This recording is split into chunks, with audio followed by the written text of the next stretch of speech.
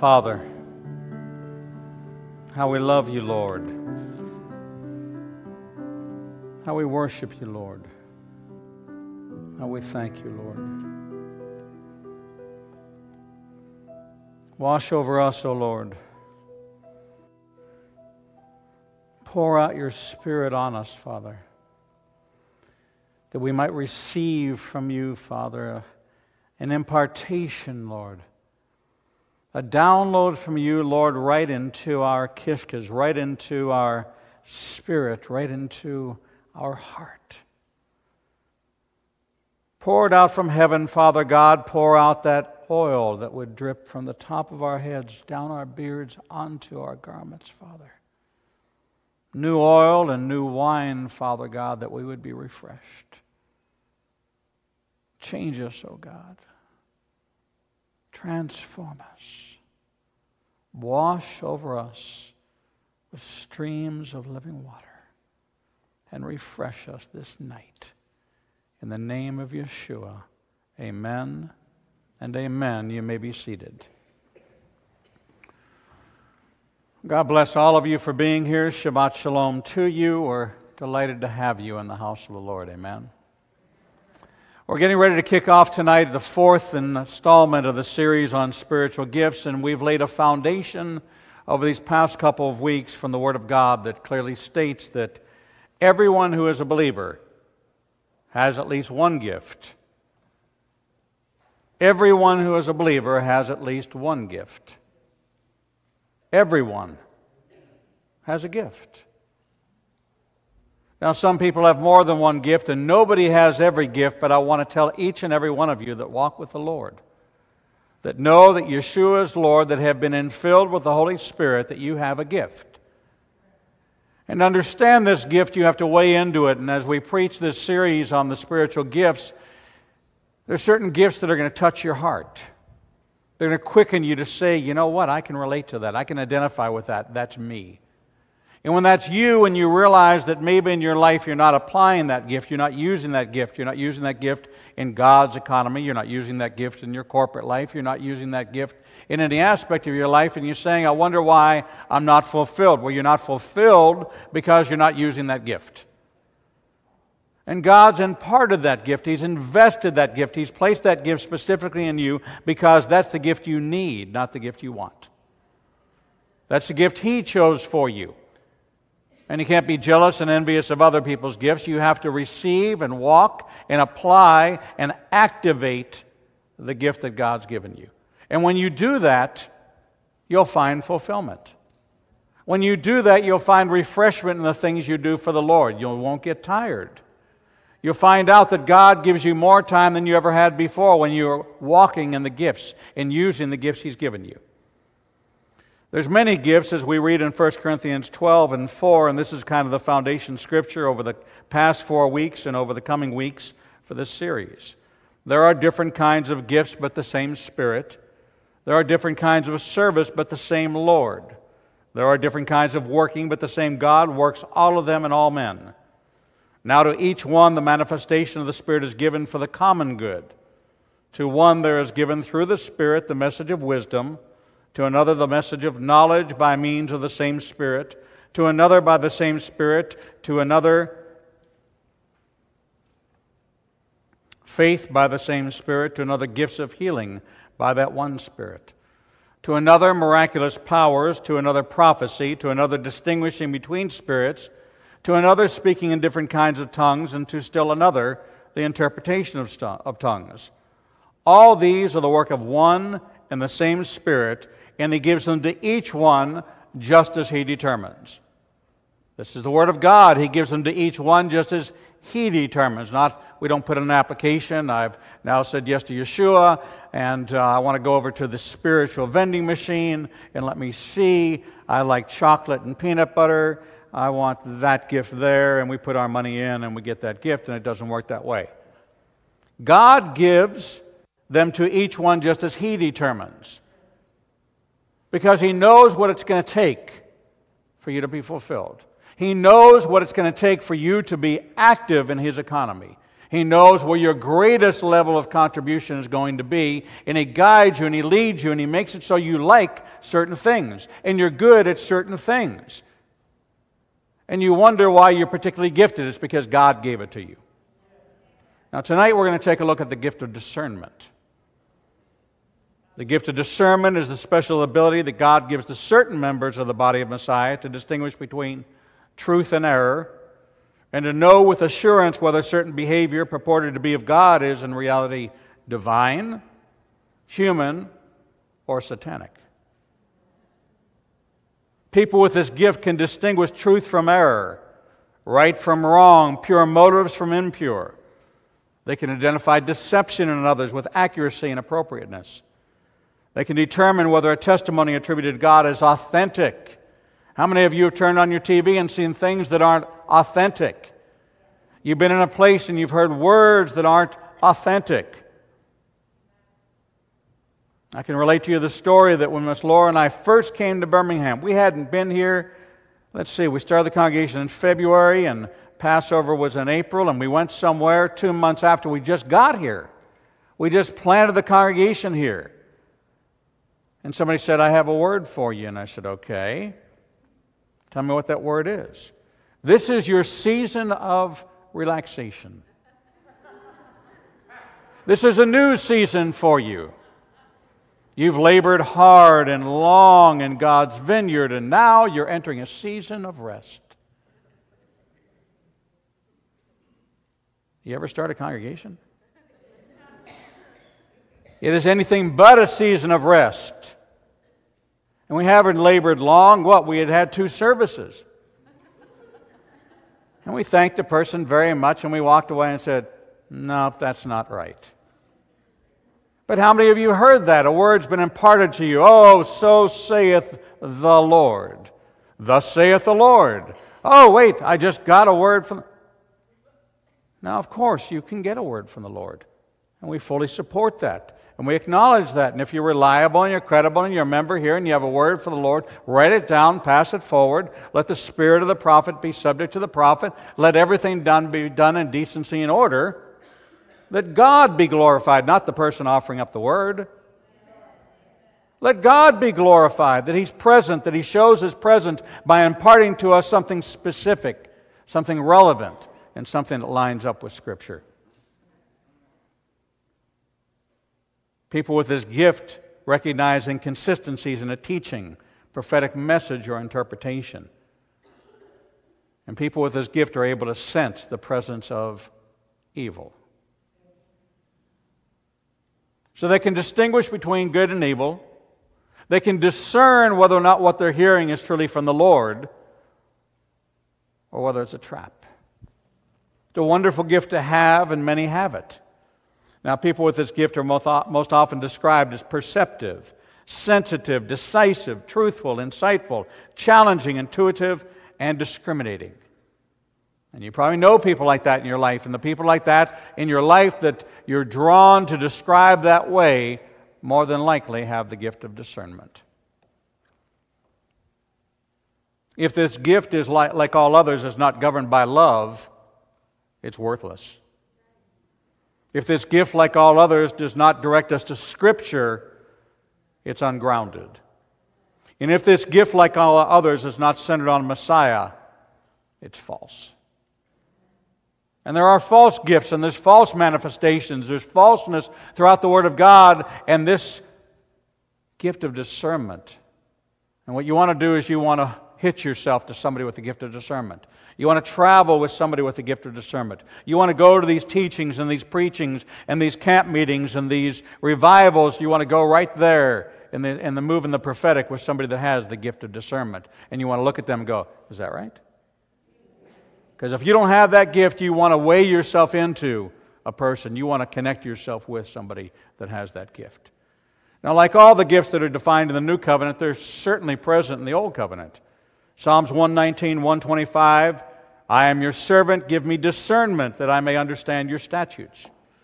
Proverbs 3, 21 through 26, my son, preserve sound judgment and discernment, do not let them out of your sight. They will be life for you, an ornament to grace your neck. Then you will go on your way in safety, and your foot will not stumble. When you lie down, you will not be afraid. When you lie down, your sleep will be sweet. Have no fear of sudden disaster or of the ruin that overtakes the wicked, for the Lord will be your confidence and will keep your foot from being snared. Don't we all want that? A restful sleep. We want discernment. We want to hunger and ask the Lord for discernment. Because the truth of the matter is, if you're faithful in the gift that God's given you, if you're fulfilled by using the gift that God given given you, you can go to Him and ask Him for another because you can be trusted. But if you haven't used what He's given you, don't ask for another. Be faithful to have God direct you and put you on the path to being able to use it for His glory. Second Chronicles 2 and 12. And Hiram added, Praise be to the Lord, the God of Israel who made heaven and earth. He has given King David a wise son endowed with intelligence and discernment, who will build a temple for the Lord and a palace for himself. Now, Solomon is credited as the wisest of wise, yet Solomon stumbled in the end. He was a wise man that had discernment. God gave him this gift of discernment. And as long as he was using that gift, he stayed out of trouble. But the minute he turned to the flesh, even with the gift of discernment. So the gift of discernment is not a get out of jail free card. It doesn't keep you out of trouble unless you apply it. And like every gift we have, it can sit in a box on a shelf, and tomorrow many of you will get many gifts, and if you never open the gift, what good is it? What good is that shovel that hangs in my garage that was given to me many years ago if I never take it down and dig a hole? A gift is only of value when you put it to use.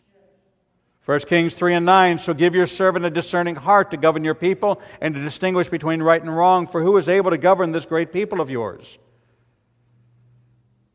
That's interesting. There's many in the Bible who demonstrate this gift. But God has ordained this night. And when I tell you He's ordained this night to tell you about this couple, when I tell you about this couple, you're going to say, it's by the hand of God. Because the whole time we were away and I prayed about, Lord, what is the sermon going to be on Friday night? What's the sermon going to be on Friday night? Nothing was popping, nothing was connecting, nothing was connecting. And it really wasn't until yesterday afternoon when all of a sudden all the lights went on. And God said, I want to show you something. A story that we've become not chased about or calloused about, but a story that we don't really understand from the true deep, deep, deep scriptural nature. Oh, we look at the story one way and we glorify the story one way. But the truth of the matter is, this Jewish couple was involved in something that was totally confusing. It made no sense at the time. And when you applied the social standards to what they were going through, the course of action was pretty clear as to what they should do. And had it happened today, the course of action would have been a tragic one. And this Jewish couple was faced with a situation that no Jewish couple should be faced with. It was inappropriate. It was unfortunate in many regards. It went against all the laws of the land. It would have been troubling to a father and it would have been troubling to a mother.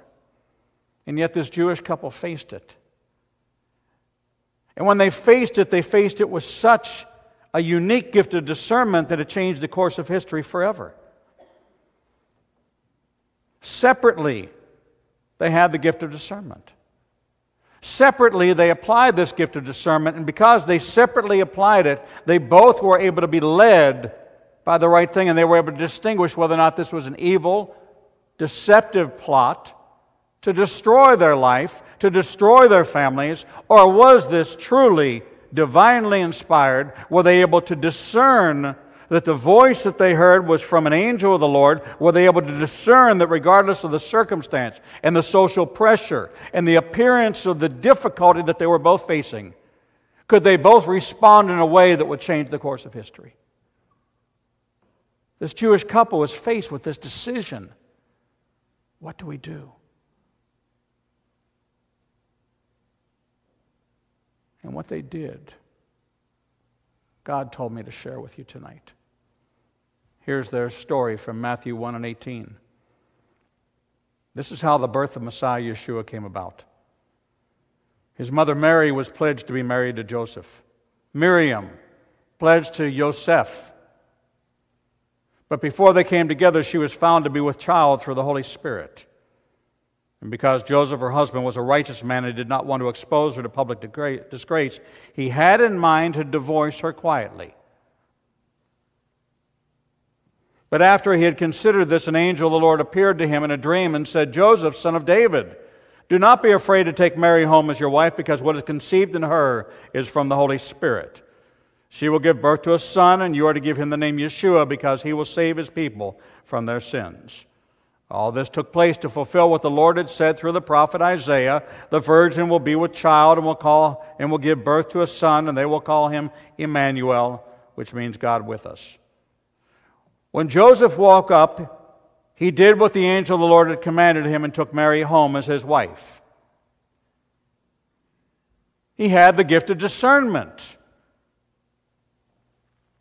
Here he was told something so contrary to what his inclination was, so contrary to what his nature was, so contrary to the social values of the time.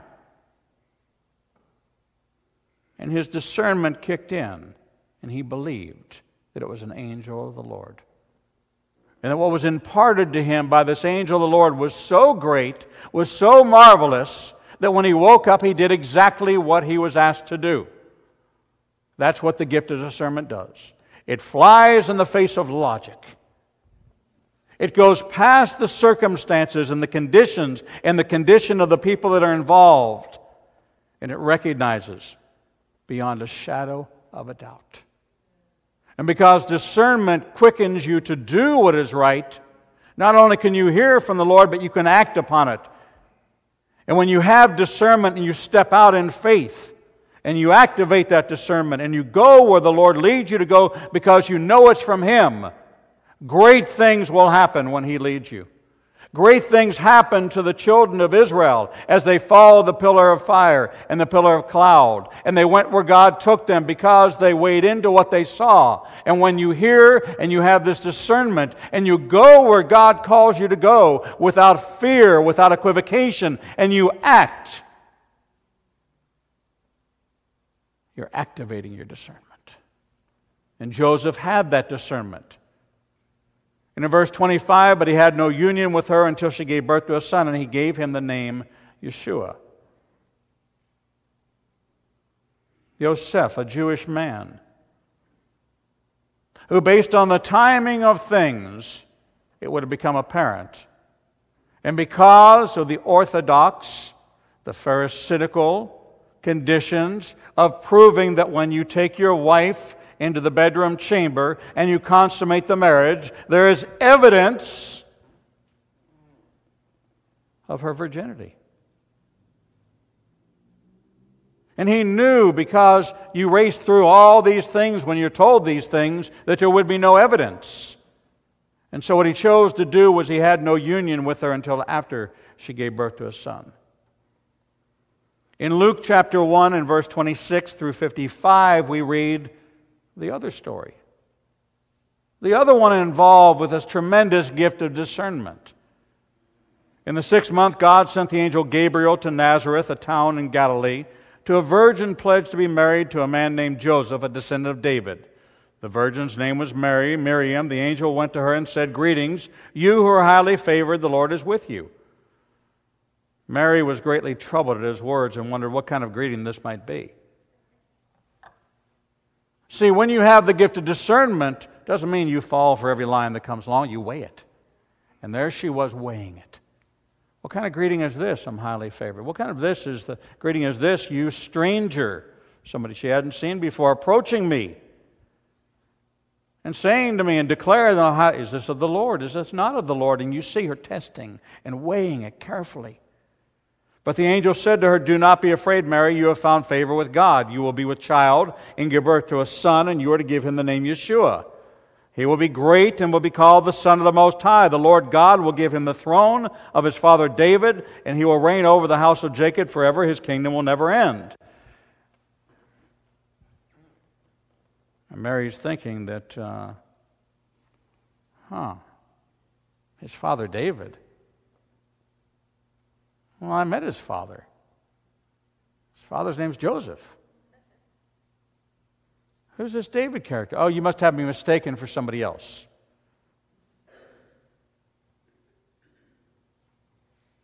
So Mary responds, How will this be, Mary asked the angel, since I'm a virgin? The angel answered, The Holy Spirit will come upon you, and the power of the Most High will overshadow you. So the Holy One to be born will be called the Son of God. Even Elizabeth, your relative, is going to have a child in her old age, and she who was said to be barren is in her sixth month. For nothing is impossible with God. And Mary's response, now that she's discerned, now she's discerned, she's talking of an angel of the Lord. He's given her something into evidence that verifies and validates, for she knew Elizabeth was pregnant. Knows a lot about her.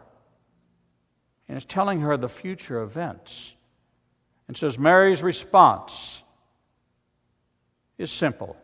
I am the Lord's servant, Mary answered. May it be to me as you have said. Then the angel left her. At that time, Mary got ready and hurried to a town in the hill country of Judea, where she entered Zechariah's home and greeted Elizabeth. When Elizabeth heard Mary's greeting, the baby leaped in her womb, and Elizabeth was filled with the Holy Spirit. In a loud voice, she exclaimed, Blessed are you among women, and blessed is the child you will bear. But why am I so favored that the mother of my Lord shall come to me? As soon as the sound of your greeting reached my ears, the baby in my womb leaped for joy. Blessed is she who has believed that what the Lord has said to her will be accomplished.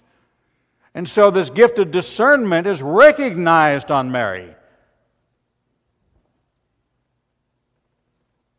And you will recognize the gift of discernment on people who are discriminating.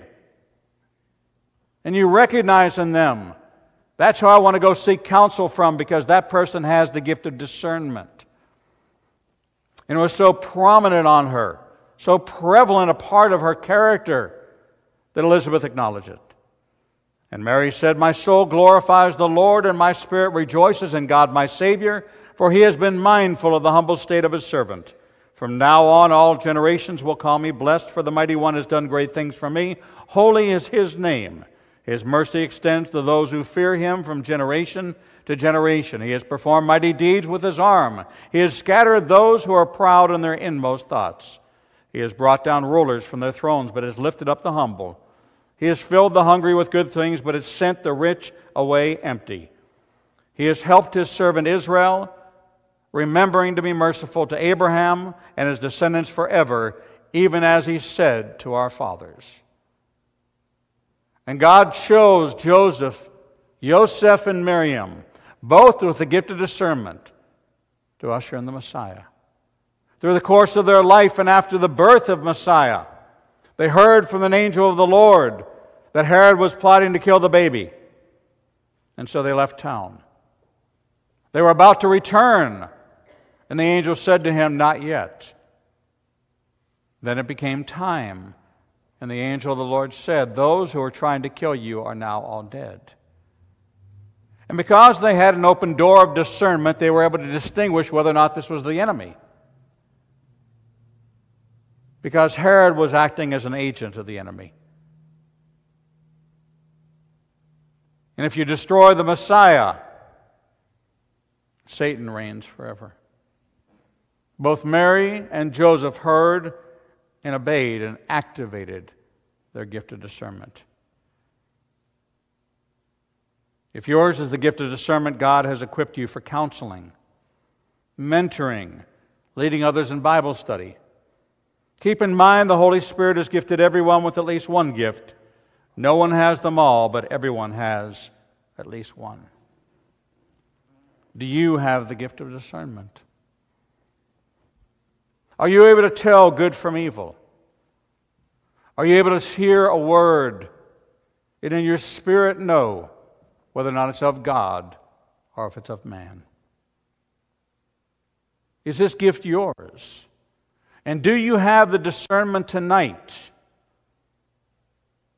to know that the words I spoke to you are true?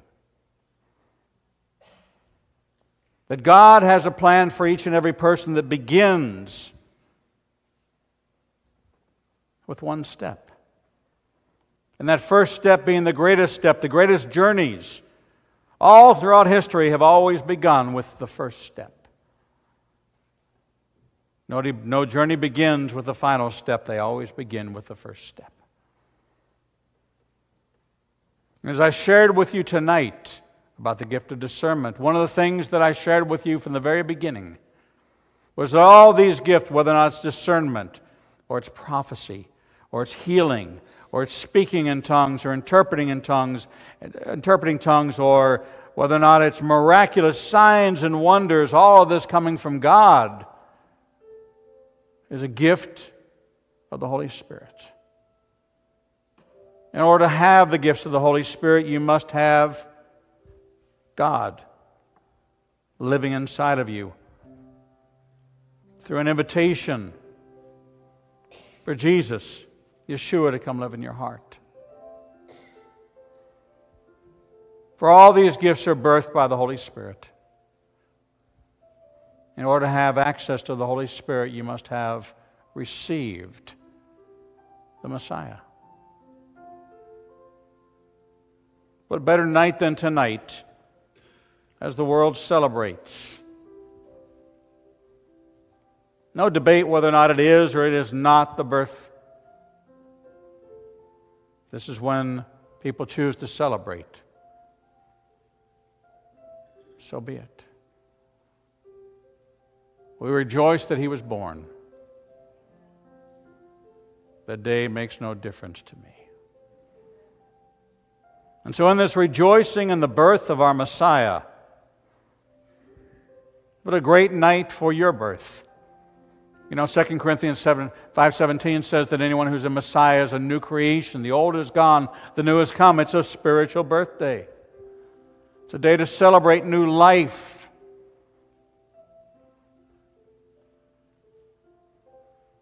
Being born into sin because the blood of man is in us.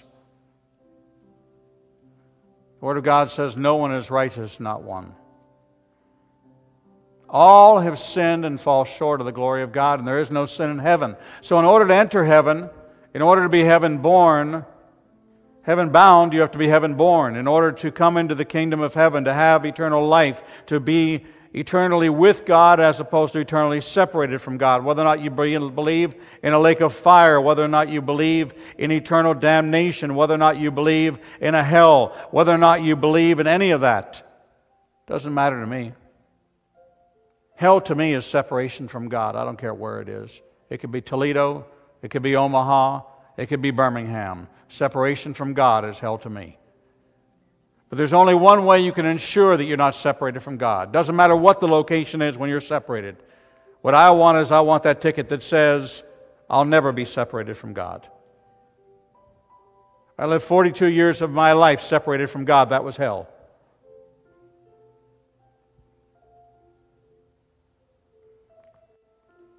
And if you're here tonight and you don't have that, that hope, and that promise of where you'll spend eternity. And there's even the slightest possibility that you might, set, that you might spend the rest of your eternal life separated from God, then I want you to listen to me carefully. Because if you're unsure, in any part of your being, if you have a question as to where you go, where you're going to go when you die, if you have one even shred of doubt, I'm talking to you.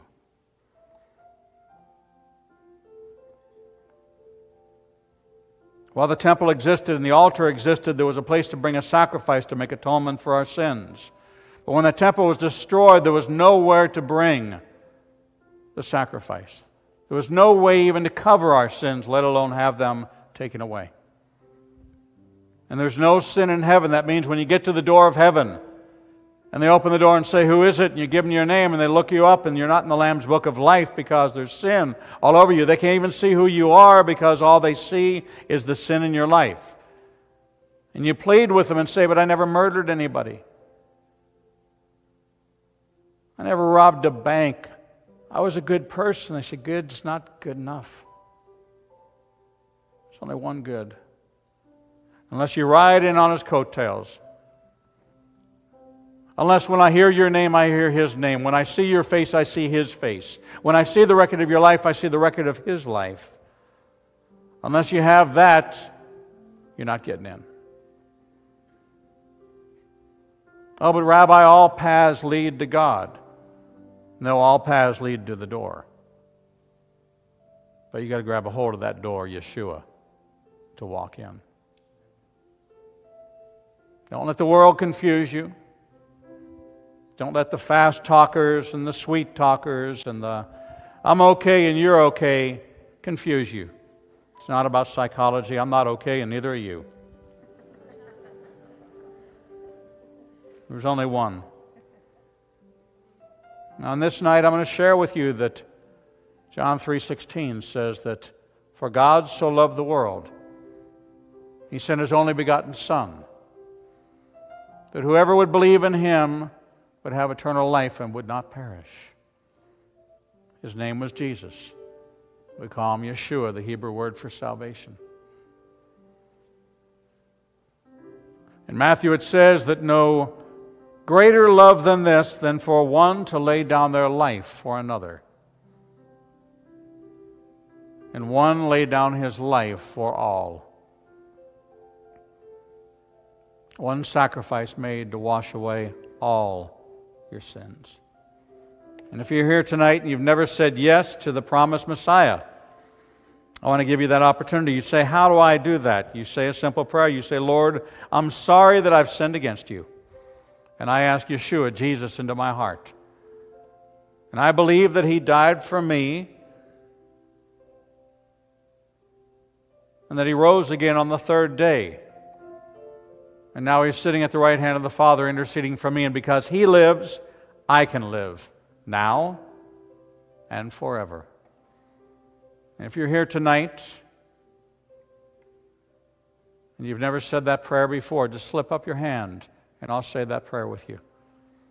If you're here this night and you've never said that before, you've never accepted the promised Jewish Messiah, just slip up your hand and I'll say that prayer with you. Is there anyone? Is there anyone? Is there anyone? Never said it before. Never said it before.